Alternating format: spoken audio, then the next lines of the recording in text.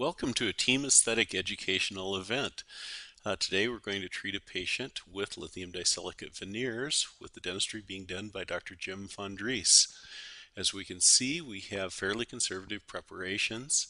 We do an initial wax injection from the provisional restorations, and then we start to modify contour to try to enhance the natural appearance of the wax up come through and add a little bit of wax to support the embrasure form. We'll open our lingual embrasures a little bit as we go.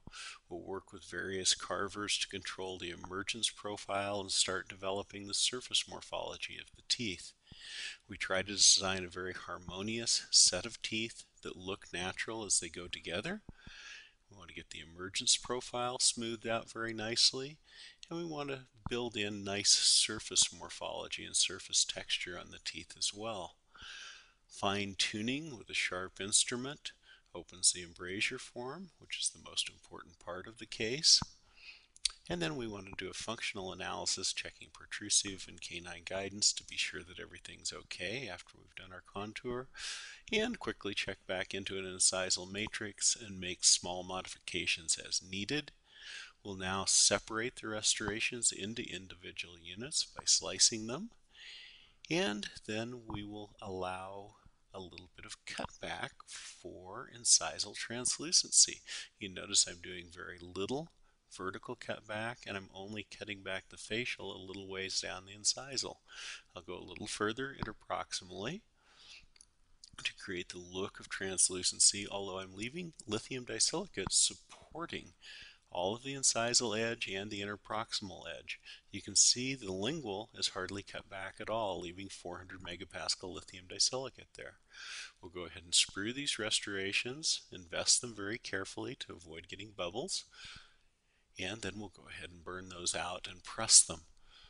Once the restorations are uh, pressed, We'll make composite dies to check our underlying color and see what the effect of that is. We'll use Brasseler's new lithium disilicate and zirconia grinding instruments. Incidentally, this burr or wheel has been used since last summer and it still is full sized. You can see how quickly it cuts the lithium disilicate to take the sprues off quickly. I'll use that initially I'll switch to their medium grit, uh, more of a tapered cylinder shape, just to clean the investment residue off the surface and freshen the surface before I start using my Brasseler's diamonds to fill in the uh, surface morphology and, and do final shaping and surface texturing. As you can see here, I'm working on the emergence profile again. I'm just trying to smooth those deflective zones. And then we'll freshen our cutback with a diamond impregnated rubber wheel. And finally use the uh, new blue thin dialite wheel to uh, put our surface morphology in, in the incisal edge cut back. Just separate our lobe formations a little bit.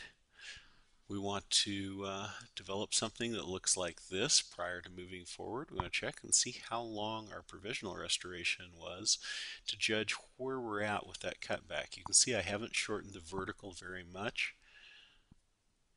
And we'll start by pressing, pressing ah, by placing the restorations on stump dies. And initially we have a color of a BL3, but with staining and glazing, we can move that clear up to an A2 in the gingival third. Some of that color is coming from underneath, some of it is from what we did with the stain.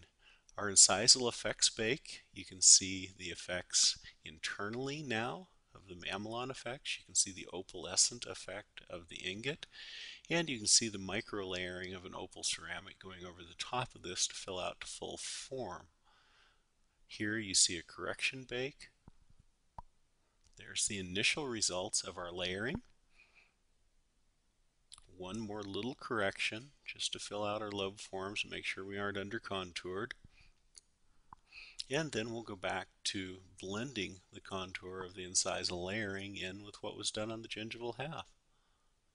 I'll start with an 863.012 to develop my lobe formations work back into the contact areas, making sure I don't have any rough areas in front of the contact.